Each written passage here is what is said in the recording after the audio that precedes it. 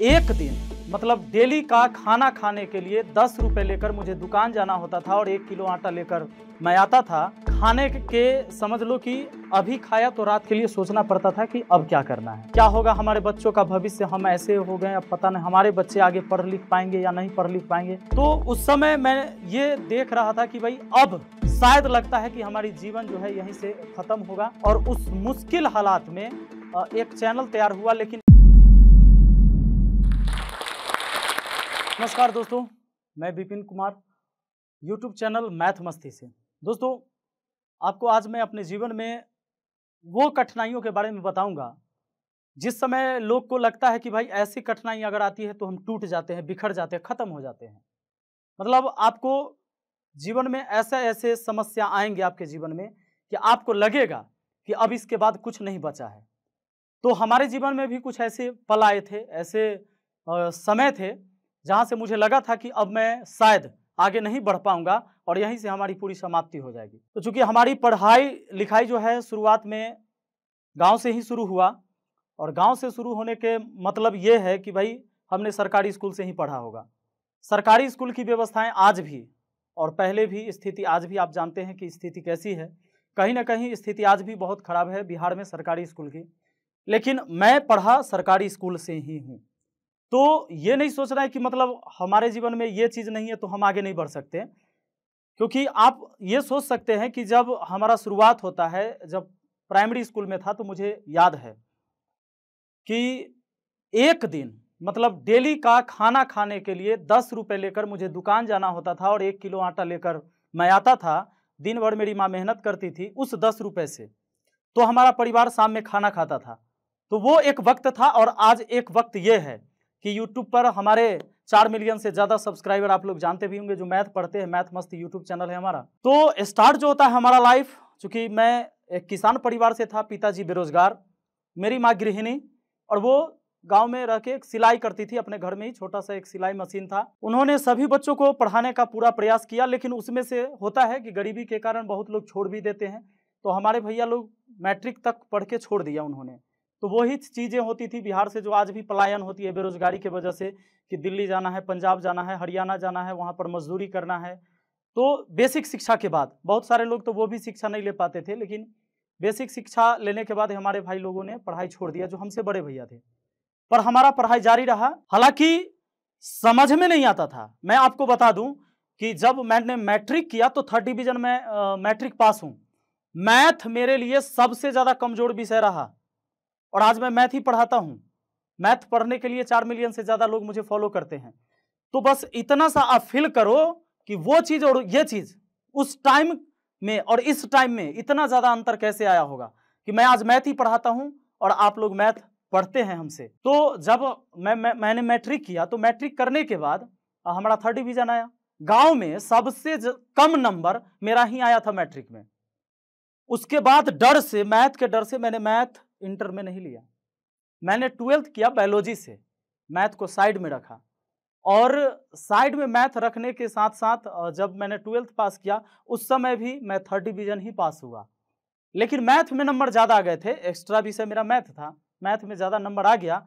पर यह सच्चाई बात है कि वो मैथ में जो नंबर आ गया मेरे टैलेंट की वजह से नहीं आया है। ये सच बात है। उसके बाद मैं आईटीआई करने लगा।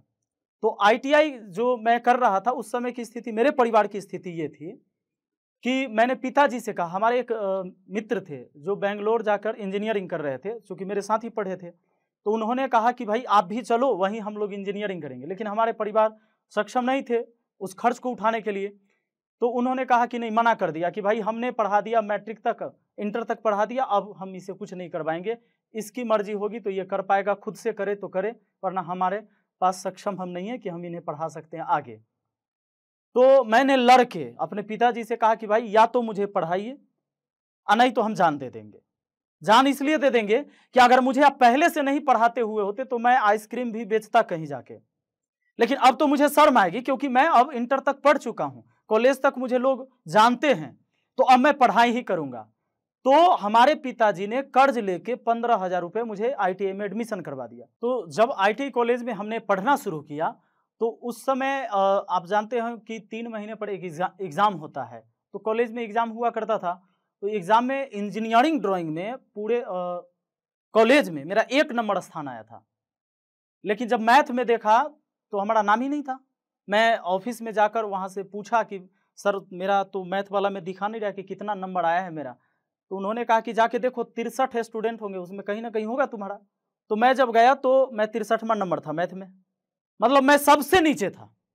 उस दिन मुझे एक झटका सा लगा और मुझे लगा कि भाई ये कहीं ना कहीं मेरे साथ जो है, मेरे जीवन का बर्बाद होने का ये टाइम आ गया है। मैं उस दिन कॉलेज से निकला, अपने रूम पर गया और जाकर मैं दरवाज़ा बंद करके रोया, खूब रोया। और जब रोया हुआ हो गया तो मैंने अपने आप से कसम खाया। कि आज से या तो मैथ बर्बाद हो जाएगा या साल भर बाद मैं खुद को खत्म कर लूँगा। मैंने मैथ से लड़ना शुरू किया और मैं आप लोग को बताऊँ कि सबसे पहले उस टाइम मतलब इंटर के बाद जब मैं आई कर रहा था, उस समय मैंने जाना कि बोडमास कोई चीज़ होती है। बुडमास आप लोग अगर मैथ जानते होंगे तो मैंने पढ़ाया है बोडमास तो बोडमास चीज़ें होती हैं जिससे हमें पता चलता है कि पहले हमको ब्राइकेट का काम करना है, ऑफ़ का काम करना है, डिवाइड का काम करना है, तब मल्टीप्लाई, तब जोड़, तब सब्ट्रैक्ट मतलब घटाव का काम हम लास्ट में करते हैं। ये मैंने इंटर के बाद सीखा है। और आज बहुत सारे बच्चे ये घबराते कि मुझे तो आता ही नहीं तो मैं क्या कर सकता हूँ? सोचो कि मैंने इंटर के बाद ये चीज़ें सीखी है। मैंने एक साल, में ईमानदारी बताता हूँ, मैंने लगातार कंटिन्यू पढ़ाई किया और हाँ कभी कभी ऐसा होता था, मैं तीन तीन रात और तीन तीन दिन तक नहीं सोता था, पढ़ाई के पीछे मैं इतना पागल हो गया। और ये सारे हुए इंटर के बाद हमारी। और जब ऐसा मुझे लगने लगा, मैं आपको एक बात और बता दूँ, हमारे जीवन की उस टाइम की कहानी। जब मैं ये कर रहा था, जब मैं मैथ पढ़ रहा था, मैं अपने घर से दूर हाजीपुर में रहता था, जहाँ मेरा डिस्ट्रिक्ट टाउन है। तो वहाँ क्या होता है कि मैं एक छोटा सा रूम लिया और मेरे घर से मेरी माँ सिलाई करके पाँच सौ रुपया हर महीना किसी तरह जोड़ के मुझे देती थी। तो मैं उसी से पढ़ाई करता था। और मैं खुद बिहार बोर्ड से पढ़ा हुआ था और शहर में या तो वहाँ सी बी सी बोर्ड के बच्चे होते तो मुझे ट्यूशन भी नहीं मिलता था पढ़ाने के लिए। क्योंकि मैं सी बोर्ड से पढ़ा नहीं था, हमारी इंग्लिश अच्छी थी नहीं तो मुझे ट्यूशन पढ़ाने के लिए भी नहीं मिलता था।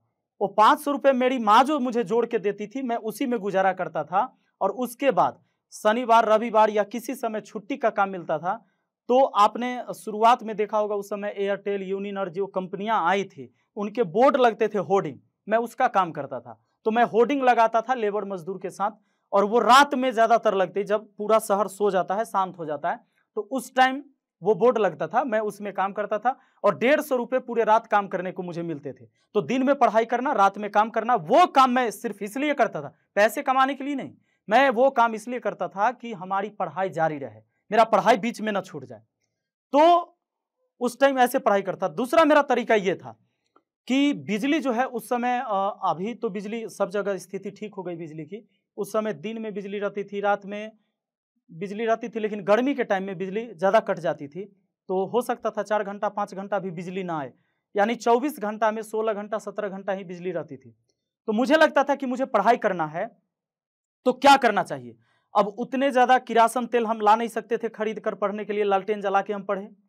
तो मेरा एक लक्ष्य रहता था कि अगर पूरे रात लाइट नहीं कटेगी तो मैं पूरे रात पढ़ूँगा। और जिस समय लाइट कट जाएगी, मैं सो जाऊँगा। और सोने के अगर 20 मिनट बाद भी लाइट आ जाती है तो मैं उठ के पढ़ना शुरू कर देता था। तो हमने ऐसे पढ़ना शुरू किया, और जब लाइट अगर मान लो कि पूरी रात नहीं कटती तो मैं पूरे रात नहीं सोता था और पढ़ता था। जब बैठे बैठे कमर दुख जाए तो मैंने एक छोटा सा एक बोर्ड लगा लिया था रूम में। मैं खड़ा होकर चौक लेके, और पूरे सवाल मैं बोर्ड पे बनाया करता था। तो ऐसे मैंने अभ्यास किया है, प्रैक्टिस किया है। मैंने मेहनत किया और सच बताऊँ, केवल एक साल मैंने इतनी मेहनत किया, उसके बाद एक बार मैंने इलाहाबाद बैंक का प्रीवियस ईयर क्वेश्चन, जो एग्ज़ाम हुआ था, उसके क्वेश्चन आए थे। सामान्य ज्ञान दर्पण बुक में छप के आता था। पचास सवाल में मैंने अड़तालीस सवाल मैथ के कर लिए। और जब मैंने अड़तालीस सवाल सोल्व किए तो मुझे लगा कि भाई, मैं अब मैथ सीख चुका हूँ। ये दो सवाल मैंने अपने गुरुजी से पूछा। गुरुजी ने कहा कि ये सवाल ही कुछ टेढ़ा था तुम्हारे आउट ऑफ़ सिलेबस से था, मैंने पढ़ाया नहीं था। तो उस दिन मुझे लगा कि भाई, ये मुझे, अब तो मैं मैथ सीख गया हूँ और तब मुझे लग रहा था कि जो बच्चे मेरे जैसे कमज़ोर होंगे, जिन्हें मैथ से इतनी डर लगती होगी, उनको ऐसे पढ़ना चाहिए था जैसे मैंने पढ़ा है। तो उस दिन से मेरा जो है इरादा बदल गया। अब मुझे लगा कि मैं पढ़ाऊँगा। मैं पढ़ाऊँगा इसलिए कि ताकि वैसे बच्चे जो मेरे जैसे थे, जिन्होंने मैथ से एकदम बचपन से डरना शुरू कर दिया था और इलेवन ट्वेल्थ कर लेते हैं, फिर भी मैथ से डरते रहते हैं। मैंने सोचा कि आज से जब वो मुझसे सीखेंगे तो मैथ पक्का सीखेंगे। और ये आप मान लीजिए, जब मैं मैथ पढ़ाऊँगा तो निश्चित आपको समझ में आएगा। और अगर कोई भी बच्चे जो हमारी वीडियो देखते होंगे तो उन्हें पता होगा। अगर आप पहले क्लास से मतलब किसी भी चैप्टर का, क्लास वन देखते हैं, फिर क्लास दो, फिर क्लास थ्री, ऐसे करके अगर आप पढ़ते हैं तो पूरी गणित आपको समझ में आएगी। 2017 में आ, मैंने YouTube चैनल बनाया। अच्छा YouTube की भी मुझे ज़्यादा जानकारी नहीं थी। मैं जनरल कंपटीशन वाले बच्चों को पढ़ाता था। उस समय कोचिंग चल नहीं रहे थे अच्छे से क्योंकि बच्चे पढ़ नहीं रहे थे क्योंकि कोई वैकेंसी नहीं थी। वैकेंसी नहीं थी तो बच्चे पढ़ने नहीं आते थे। तो जब उस समय मैंने देखा अपनी स्थिति इतनी खराब हो गई थी कि जिस कमरे में मैं रहता था मात्र समझ लो पच्चीस सौ रुपये उसके रेंट देने होते थे चूँकि मैं था और मेरी वाइफ मेरे बच्चे मेरे दो छोटे बच्चे हैं और मेरी वाइफ तो उस समय जहाँ मैं दरभंगा में रहकर कोचिंग चलाया करता था तो उसके रेंट देने के लिए मैं आपको बताऊँ कि जिस बेड पर मैं सोता था, उस बेड को बेचकर मैंने रूम का रेंट दिया और तब जाके नीचे, बिछावन नीचे डाल के फर्श पे, और मैं वहाँ सोया करता था और वहाँ खासकर बाढ़ की समस्या होती है बिहार में, आप जानते हैं, और खासकर दरभंगा, मधुबनी, सीतामढ़ी के तरफ़ बहुत ज़्यादा बाढ़ की समस्या होती है। तो उस समय बाढ़ भी आ गए थे तो जो भी कुछ बच्चे आते थे पढ़ने, वो कोचिंग में पानी आ जाने की वजह से वो भी नहीं आते थे। तो मतलब खाना पीना मुश्किल हो गया था, रहना तो छोड़ दो। रहने के लिए तो मैंने बेड बेच के दो महीने का रेंट दिया तो बात खत्म हो गई और नीचे मैंने सोना शुरू कर दिया। यहाँ तक कि जो एक हमारा अलमारी था, उसे भी बेचकर मैंने रेंट चुकाए तो उस समय मैं ये देख रहा था कि भाई, अब शायद लगता है कि हमारी जीवन जो है यहीं से ख़त्म होगा। कभी कभी होता है आपके मन में विचार आएगा कि मैं सुसाइड कर लूँ। लेकिन अगर आपके साथ, आपके दोस्त, जो हर इंसान अगर शादीशुदा है तो उसके दोस्त, उनकी वाइफ होती है। तो अगर वो हौसला देती है, हिम्मत करती है अगर आपके साथ है तो कभी कभी आपको ये लगेगा कि शायद मैं फिर से लौट सकता हूँ। जो कुछ खराब हो चुका है, जो बर्बाद हो चुका है, उसे मैं वापस ठीक कर सकता हूँ। तो वैसा ही मेरी वाइफ ने मेरा सहारा दिया, साथ दिया। और उनका योगदान रहा चूँकि जब आप शादीशुदा होते हो तो सबसे ज़्यादा आप अपनी वाइफ से बात करते हो। जब आप शादीशुदा नहीं होते हो तो सबसे अच्छी दोस्त आपकी माँ होती है। हम माँ से अपनी बात ज़्यादा शेयर करते हैं। लेकिन जब लोग शादीशुदा होता है तो ये निश्चित है कि अपनी वाइफ से हर बातें शेयर करता है क्योंकि जिसके साथ आप ज़्यादा टाइम गुजारते हैं, उसी से ज़्यादा टॉक होती है। तो उस समय मेरी वाइफ ने मुझे हौसला दिया और हालाँकि परेशानी उसे भी लगता था कि भाई क्या होगा हमारे बच्चों का भविष्य? हम ऐसे हो गए अब पता नहीं, हमारे बच्चे आगे पढ़ लिख पाएँगे या नहीं पढ़ लिख पाएँगे? आगे मुझे क्या करना है? अब चूँकि पढ़ाई लिखाई, ट्यूशन, कोचिंग से कुछ हो नहीं रहा है, और खाने के समझ लो कि अभी खाया तो रात के लिए सोचना पड़ता था कि अब क्या करना है। तो उस समय बैठे बैठे मेरे दिमाग में यह आया कि भाई क्या करूँ?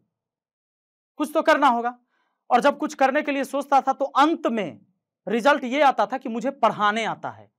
जब हर काम के बारे में सोचता था कि मैं ये काम कर लूँ, वो काम करूँ, ये काम करूँ तो सारे काम मुझे कठिन ही लगते थे। अंतिम में मुझे लगता था कि मैं पढ़ाता बेहतर हूँ और यही बेहतर कर सकता हूँ। तब जाके मुझे एक स्टूडेंट ने जो कि मेरा स्टूडेंट था, वो रेलवे में जॉब करता था, उसे मैंने ऑफलाइन कोचिंग में पढ़ाया था। उन्होंने मुझे फ़ोन किया। कभी कभी क्या होता है ना कि जब आप कुछ चाहते हो तो भगवान भी कुछ रास्ते खोल देते हैं आपके लिए। तो उन्होंने मुझे कॉल किया, हमारे स्टूडेंट ने, और उन्होंने उन्होंने कहा कि, सर, मैं ग्रुप डी में अभी जॉब कर रहा हूँ रेलवे में, मैं इस नौकरी को छोड़ना चाहता हूँ, क्योंकि आगे की हमारी तैयारी नहीं हो पा रही है। अब मान लो कि मेरा रात में ड्यूटी लग जाता है, कभी दिन में ड्यूटी लग जाता है तो मैं क्लास नहीं ज्वाइन कर सकता वहाँ पर। तो सर, मैं लौट के आता हूँ आपके पास पढ़ने के लिए। मैंने उसे मना किया कि, नहीं, तुम नौकरी मत छोड़ो, ऐसे नौकरी सबको मिलती भी नहीं है।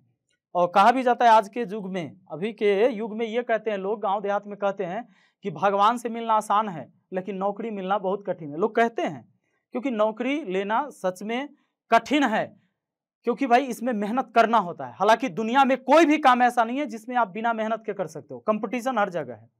और जो बंदा मेहनत करेगा, उसके लिए तो आसान है, जो मेहनत नहीं करेगा।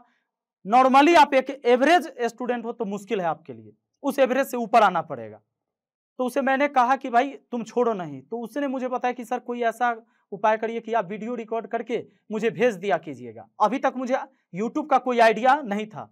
आप सबको पता है यूट्यूब ने मेरी ज़िंदगी को बदला है, इसलिए मैं ये चीज़ें बता रहा हूँ।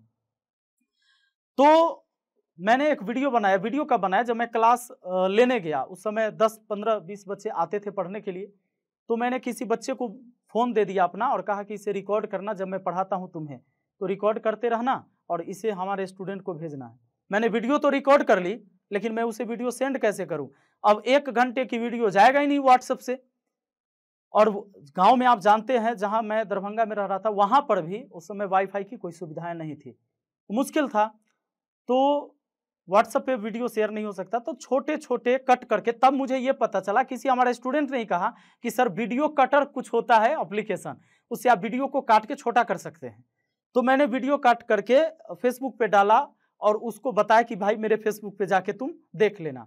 और हमारा एक स्टूडेंट ने ही फेसबुक आईडी हमारी बना दी थी। तो शुरू होता है वहाँ से वीडियो शेयर करना। फिर बाद में हमारे एक स्टूडेंट ने कहा कि, सर, आप यूट्यूब पर वीडियो डाल दीजिएगा ना तो और सारे बच्चे पढ़ पाएँगे। और ऐसे भी तो मैंने सोचा कि चलो रिकॉर्ड हो ही जाता है जिस समय मैं पढ़ाता हूँ। रिकॉर्ड हो जाएगा तो मेरा क्या जाता है? मैंने यूट्यूब पर वीडियो डालना शुरू किया। अच्छा इस चीज़ों को भी सीखने के लिए मुझे लगभग तीन चार महीने लग गए। कि भाई यूट्यूब पर वीडियो डालते कैसे हैं? धीरे धीरे मुझे ये पता चला कि हमारे मन में कोई भी सवाल हो, अगर हम यूट्यूब पर सर्च करते तो उस सवाल का जवाब देने वाले हज़ारों गुरुजी मिलते हैं। तो ये निश्चित है कि अगर आप यूट्यूब पर कैसे वीडियो डालते हैं, कैसे डालना है, वीडियो एडिट कैसे करना है थंबनेल कैसे बनाते हैं, वो सारी चीज़ें तो आज मेरे लिए एकदम खेल है। लेकिन उस समय मेरा कोई गुरु नहीं था, जो सवाल मेरे मन में आने लगा धीरे धीरे मैं उसे सर्च करना शुरू किया और वो सवाल का जवाब मुझे यूट्यूब से ही मिल जाता था। ऐसे करके मैंने यूट्यूब पर वीडियो बनाना शुरू किया और उस मुश्किल हालात में एक चैनल तैयार हुआ, लेकिन सच बताऊँ, एक साल तक मुझे यूट्यूब से कोई अर्निंग नहीं आई थी। पूरे एक साल मैंने बहुत संघर्ष किया है उस समय, जब आपके पास छोटे छोटे बच्चे हों, उनके दवा की ज़रूरत हो, उनके खाने पीने की ज़रूरत हो मतलब कब कितने पैसे की ज़रूरत पड़ जाएगी, इसका कोई ठिकाना नहीं, और जेब में पाँच रुपये नहीं हो आपके तो स्थिति बहुत ख़राब होती है। तो मेरी मैडम मायके चली जाती हैं और मैंने उन्हें कहा कि भाई, कम से कम दो महीने अभी मुझे समय दो अकेले, एकांत मुझे काम करने के लिए। और मैंने काम किया और उस समय यूट्यूब पर 2018 में मैंने बहुत मेहनत करके पढ़ाया और हमारी वीडियो वायरल होने लगी। और जब वीडियो वायरल होने लगी, आप लोग का प्यार मिला, बच्चों का प्यार मिला जो बच्चे तैयारी करते थे। और इसके वजह से सब लोग मुझे जानने लगे और तब जाके मुझे आसान हो गया। और उसके बाद मुझे बड़े बड़े एजुकेशन प्लेटफॉर्म जो ऑनलाइन पढ़वाते थे, वो भी संपर्क किए हमसे, मैंने वहाँ भी पढ़ाया। लेकिन बाद में मुझे ये लगा कि भाई, मेरे माध्यम से बच्चों से ज़्यादा फ़ी लिए जाते हैं। तो ज़्यादा फ़ी लिए जाएँगे तो शायद मेरी शिक्षा, जो गाँव के उस गरीब बच्चों तक पहुँचना चाहिए, जहाँ से मैं उठ के आया हूँ, वो नहीं पहुंचेगा। अगर मेरी फ़ी चार हज़ार हो जाए तो शायद वो बच्चे जो मेरे जैसे रहे होंगे विद्यार्थी लाइफ में, वो इसको नहीं परचेज कर पाएँगे और नहीं हमारा क्लास कर पाएँगे। तो हमने अपने दोस्तों के साथ मिलकर एक धुरीना एप्लीकेशन बनाया और वहाँ पर हमने पढ़ाना शुरू कर दिया। और आज गाँव के किसी भी गरीब से गरीब का बच्चा वहाँ पर पढ़ सकता है और पढ़ते हैं। सौ रुपए में पूरे मैथ पढ़ लेते हैं। जो चीज़ें हम पढ़ते थे तो पाँच सौ रुपये में एक महीने की क्लास लगती थी, हमारी पाँच सौ रुपये फ़ीस देते थे तो। आज सौ रुपये में हमारे साथ बच्चे सालों भर पढ़ लेते हैं हमारी एप्लीकेशन पर। तो इस तरह से हम लोगों ने वो चीज़ें लाई अपने दोस्तों के साथ मिलकर। और आज आप जानते हैं गाँव गाँव में, खेतों में बच्चे खेती भी कर रहे हैं। मशीन चला के पानी पटा रहे धान में और मोबाइल निकाल के पढ़ाई करते हैं। तो कहीं ना कहीं यहाँ पर जो जियो कंपनी आई थी उस टाइम, जो फोर लेकर नेटवर्क आई, ये क्रांति है इस देश में और शिक्षा आज आसान हो गया है दोस्तों। पहले होता था कि एक कोचिंग में कहीं एडमिशन लिया और वहाँ पर छः महीना लगातार पढ़ रहे हैं। अगर कोई दूसरा कोचिंग ज्वाइन करना है तो हम उसे ज्वाइन नहीं कर सकते क्योंकि अपने पास फ़ी नहीं है। लेकिन आज अपने पास ये सुविधा ज़रूर है डिजिटल इंडिया का ये कमाल ज़रूर है कि अगर ये टीचर का मुझे क्लास पसंद नहीं आ रहा है बिपिन सर का क्लास पसंद नहीं है तो दूसरे सर का तुरंत सर्च कर लिया, वहाँ पर जाकर वीडियो देखना शुरू कर दिया। तो आज शिक्षा आसान है, कोई भी चीज़ें सीखना बिल्कुल आसान हो गया है और यूट्यूब गूगल ने तो ज़रूर है कि ये आसान कर दिया है। तो दोस्तों, ये सारी चीज़ें जो मैं अपने बारे में बता रहा हूँ, वो इसलिए बता रहा हूँ कि अगर आपको लगता है कि मेरे पास ये चीज़ें नहीं है, मैं गाँव से हूँ, मैं एकदम पीछे हूँ मैं शहर में जाकर नहीं पढ़ा, शहर में जाकर कोई काम नहीं ढूंढा, नहीं कर पाया तो मैं आगे नहीं बढ़ पाऊँगा। तो ये बिल्कुल गलत है। इंसान के अंदर चाह होनी चाहिए किसी चीज़ को पाने के लिए। वो कर सकता है। और कहते हैं ना दोस्तों कि आपके जीवन में बहुत सारे लोग ये परेशान रहते हम ये तो कर रहे हैं, लेकिन आगे क्या होगा, ये कर रहे हैं, लेकिन ऐसा होगा कि नहीं होगा जो हम सोच रहे हैं। तो इसलिए याद रखिएगा कि परिंदों को नहीं दी जाती तालीम उड़ानों की, वो खुद ही तय करते हैं सफ़र आसमानों की। और रखता हो जो हौसला आसमानों को छूने का, उसे परवाह नहीं होती गिर जाने की। तो आपके अंदर अगर हौसला है कि मुझे आसमानों को छूना है तो गिरने की परवाह मत कीजिए। आपके जीवन में आगे क्या बुरा होगा, क्या अच्छा होगा, उसकी सोचना आज से बंद कर दीजिए, लेकिन वर्तमान में जीना सीखिए। हम इंसान हैं। मुझे पीछे की चीज़ों को मैं लौटा के नहीं ला सकता, कि पीछे जो मेरा बीत गया, उसे मैं वापस नहीं ला सकता। और भविष्य मुझे पता नहीं है। मैं एक इंसान हूँ, सिर्फ़ मुझे वर्तमान पता है और वर्तमान में बेहतर करने का हमें प्रयास करना है। तो ये चीज़ें होती है और ये मैं कहूँगा आप सबसे कि अगर आपके जीवन में कितना हो, प्रॉब्लम क्यों ना हो, उसका समाधान आपको ही ढूंढना पड़ेगा और वो तभी आप ढूंढ पाएँगे जब आप खुद से बात करेंगे। जब खुद से जब आप बात करेंगे ना तो आपको पता चलेगा कि आपके अंदर क्या अच्छाइयाँ हैं, क्या बुराइयाँ हैं कितनी ताकत है? आप क्या कर सकते हो? ये सब कुछ अपने आप से बात करने से पता चलेगा। बाकी दुनिया को कुछ पता नहीं है। दुनिया को कुछ नहीं पता है। दुनिया तो रिज़ल्ट के बाद बोलती है कि मैं तो पहले से जानता था, ये तो लड़का बड़ा होनहारी है। ये कुछ ना कुछ करेगा। अगर आप फेल हो जाते हैं तो कहेगा, हम तो पहला ही से जानते थे। ये कुछ नहीं करेगा। ये अपने माँ बाप का नाम जो है से हंसबेबे करेगा। तो उसे पता कुछ नहीं होता है। जब वो आपका रिज़ल्ट देखता है तब वो एजम्पन बनाता है, वो सिर्फ़ अनुमान लगाता है आपके रिज़ल्ट के बाद। इसलिए सब कुछ आपको पता है अपने बारे में। इसलिए तो कहा गया ना कि किसी भी इंसान का सच्चा मित्र वो खुद है, उससे बड़ा कोई नहीं। अगर आप भी इस वीडियो के एंड तक आ गए हैं तो मेरी तरह आप भी इंस्पायर ज़रूर हुए होंगे। दोस्तों, आपको पता है हम सब बड़े सपने देखते हैं, लेकिन हम में से कुछ ही लोग हैं जो अपने सपने को पूरा कर पाते हैं। और आपने कभी नोटिस किया जो भी लोग अपने गोल को अचीव कर पाते हैं, उनमें एक कॉमन स्किल होती है? वो क्या है? अच्छी कम्युनिकेशन स्किल्स और इंग्लिश बोलने की स्किल और अब हम भी इस स्किल को मास्टर कर सकते हैं, जोश स्किल्स ऐप के साथ। यहाँ पे हमें daily vocabulary grammar reading writing practice के साथ साथ अपने ही जैसे लाखों स्टूडेंट के साथ इंग्लिश में बात करने का भी मौका मिलता है। इससे हम अपनी इंग्लिश की फ्लुएंसी जो है वो इम्प्रूव कर सकते हैं। तो चलिए, आज ही अपने सपने की ओर पहला कदम लेते हैं भारत के number one spoken English learning app Josh के साथ।